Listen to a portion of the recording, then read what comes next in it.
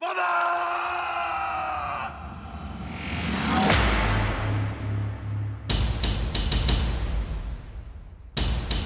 Aslında sen de biliyorsun Umut'un yerini.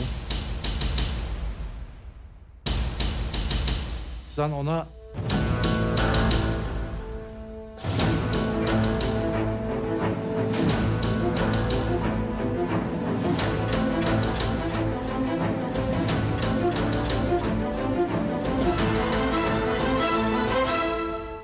Mert diyorsun.